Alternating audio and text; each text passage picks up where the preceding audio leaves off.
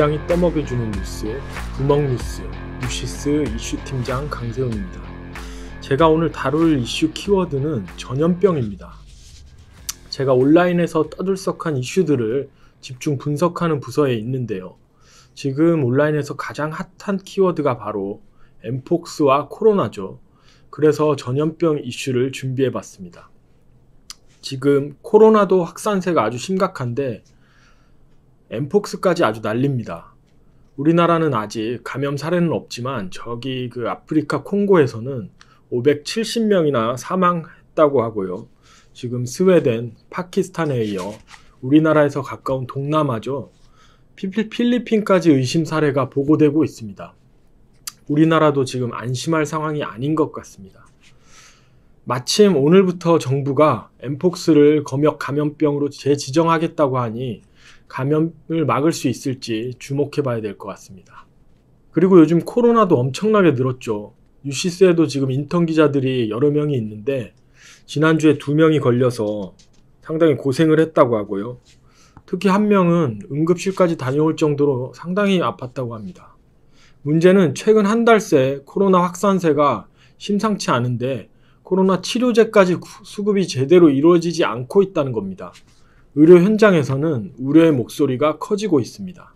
네, 그러면 실제로 의료 현장을 연결해서 코로나 확산세가 얼마나 심각한지 한번 들어보겠습니다. 경북 지역에서 가장 큰 병원이죠. 안동병원 응급실에서 근무하는 응급의학과 전문의 양은석 과장님 연결해 보겠습니다. 네, 양은석 과장님 나와 계시죠? 지금 닥터에게 응급 환자 출동하는 상태로 대기하고 있는 걸로 아는데 짬내 주셔서 감사합니다. 요즘 제 주변에도 코로나 다시 걸렸다고 하는 지인들이 많은데요. 응급실 현장에는 코로나 좀 확산세가 어떤가요? 네, 안녕하세요. 안동병원 응급의학 과장 양은석입니다. 그 최근에 코로나 환자가 정말 많이 늘어나 있는 것을 체감할 수 있고요. 올해 초만 해도 하루에 한 명 정도 코로나 환자가 발생했다면 지금은 하루에 한 10명 정도로 체감상은 한 10배 정도 늘어난 것 같습니다. 특히 노인 환자들 같은 경우에는 코로나 증상이 감기로 오는 게 아니라 뭐 의식이 처져서 온다든가 호흡이 곤란해서 오는 중증 폐렴의 형태로 나타나는 경우가 많아가지고요. 주의가 필요할 것 같습니다. 가장 확실한 방법은 마스크를 예전에 사뒀던 마스크를 다시 착용하는 게 가장 확실할 것 같습니다. 예, 지금 마스크 쓰는 걸 강력 권고하셨는데 지금 심각한 게 예전처럼 이제 대학산으로 가는 게 아니냐 이런 우려가 나오고 있는데 저 양과 지금 어떻게 생각하십니까?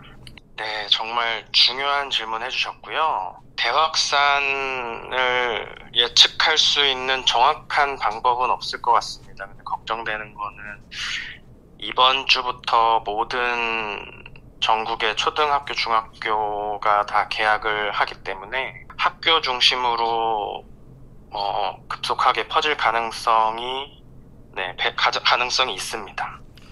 네, 그리고 양 과장님도 지금 응급실에서 근무하고 계신데 지금 전국적으로 응급실이 과부하가 많이 걸리고 있는 상태라고 합니다. 지금 의료 현장은 실제로 어떻습니까?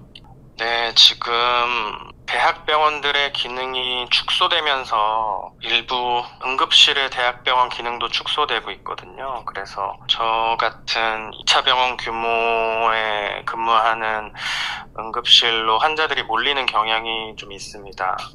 심지어 뭐 부산, 창원 같은 대도시에서도 그 수용 가능하냐는 전원 문의가 오고 있는 실정이고요. 네, 앞으로 좀 지켜봐야 될 것 같습니다.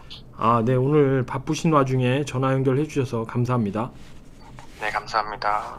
네, 그럼 이번에는 코로나 재확산 상황이 얼마나 심각한지 통계를 통해서 한번 살펴보겠습니다. 지난달 첫째 주에 주 단위로 91명이었던 코로나 입원 환자 수가 이달 둘째 주에는 무려 1,300명을 넘으면서 한 달 새 14배나 급증했습니다. 올해 2월이 입원 환자 수가 정점이었는데 그때만큼 많아진 수치입니다.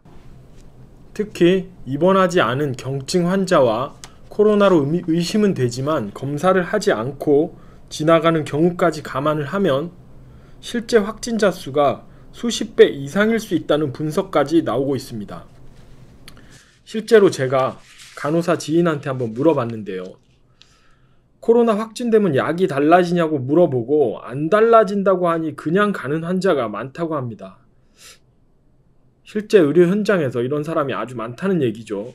정부는 이번 달 말 확진자가 35만 명까지 늘어날 것으로 보고 있습니다. 엄청나게 급증하고 있다는 얘긴데요. 질병청 관계자 목소리 한번 들어보시죠. 지금은 작년 8월에 한 절반 정도 수준으로 보고 있고요. 8월 말까지는 계속 증가하게 되면 작년 유행했던 최고 많이 환자가 발생했던 게 한 주당 35만 명 정도였는데 그 정도까지 가지 않을까라고 예상을 하고 있습니다. 21일 현재 코로나 위기 단계는 관심 단계입니다. 방역 당국은 위기 단계나 현재 4급인 감염병 등급을 높이지는 않고 감염 예방 수칙을 강조하며 환자 추이를 살필 예정이라고 하는데요. 이 정도로 관리를 해서 확산을 막을 수 있을지 좀 걱정이 되기는 합니다. 추석 연휴 대응책도 내일 발표할 예정입니다. 그런데 더 큰 문제가 또 있습니다. 약국에 코로나 치료제가 없다는 겁니다. 먹는 치료제 도입량과 비축 물량이 작년 대비 절반 수준으로 대폭 줄였기 때문입니다. 실제로 질병관리청 자료에 따르면 올해 팍스로이드, 라게브리오 같은 먹는 치료제의 도입량은 8만 명분인데요. 작년 1, 2분기죠. 어, 상반기에는 이때 먹는 약을 3, 34만 명분 도입한 것과 비교하면 절반에 그치는 수준입니다. 네, 실제로 우리 뉴시스 인턴 기자가 명동역 주변 약국을 돌아봤는데요.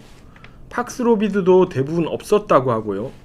확실히 코로나 환자들이 많이 늘어났다는 의견이 대다수입니다. 네, 김다비 인턴 기자 나와 계시죠? 네, 제가 지금 명동 일대 약국 네 곳을 돌아봤는데요.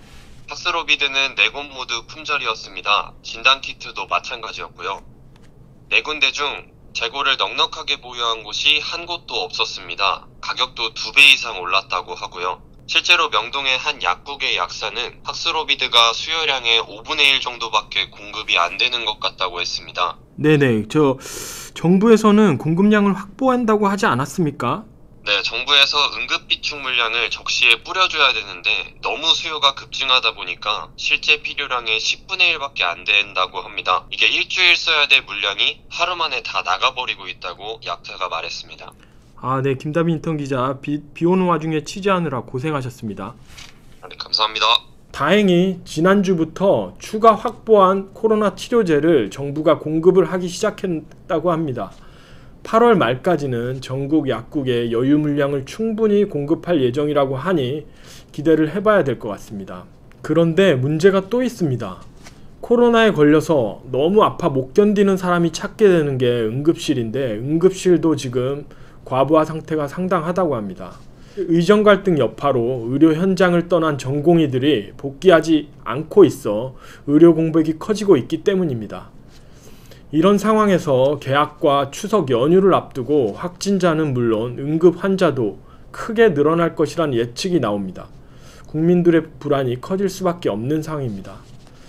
그렇다고 정부도 손을 놓고 있는 건 아닙니다. 보건복지부는 응급실 분산 대책을 실시하겠다고 했는데요. 경증 환자는 공공병원에서 운영하는 발열 클리닉으로 이송하고 코로나 거점 병원이었던 곳들을 협력 병원으로 지정해 입원 치료를 원활하게 하겠다는 계획입니다. 이 발열 클리닉에 관한 구체적인 내용은 내일 정해질 예정입니다. 보건당국은 확진 환자 발생 추이를 지켜본 다음에 추석 연휴 일주일 전쯤 코로나 관련 추석 연휴 대응책을 발표할 예정입니다. 채널 뉴시스 시청자 여러분, 손 씻기, 환기, 기침 예절 같은 기본적인 예방 수칙을 준수하시고 건강 조심하시길 바랍니다.